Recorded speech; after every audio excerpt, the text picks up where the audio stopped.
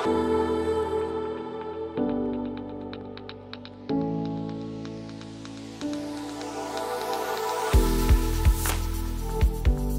Brent Field is one of the uh, largest and uh, oldest fields uh, that's found in the North Sea.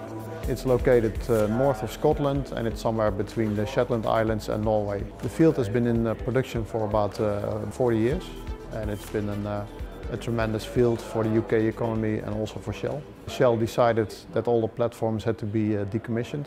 Uh, one of the platforms has already been removed, that's Brent Delta, and the other three are lined up to be removed. And the next one to be removed is now Brent Bravo. Brent Bravo is a very heavy platform.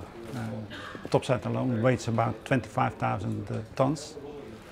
It's about the same as two and a half Eiffel Towers. It's one of the, uh, the heaviest uh, removals so far.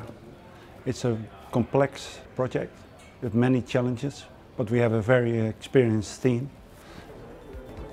and uh, it's well within our reach of the uh, lifting capacities. Uh, obviously our Brent Delta lift was a huge success, but we want to further improve ourselves by uh, setting a new challenge further reducing the platform preparations for Brent Bravo. Uh, we want to minimize the underdeck removal of items and objects on the platform to make space for our lifting beams underneath the platform. Created a new way of installing easily the underdeck lift points such that it doesn't require hot work, uh, such as welding. And we came up with a new concept for cutting the legs and keeping it into place until the moment of lift.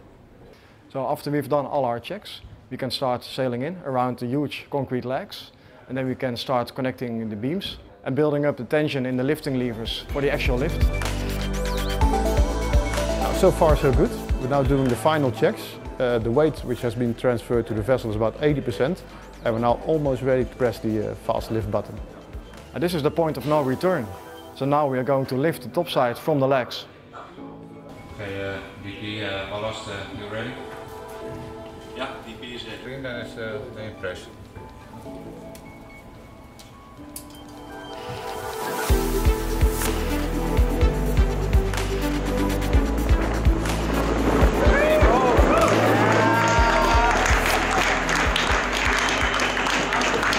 It was uh, fantastic, very smooth, even better than Delta.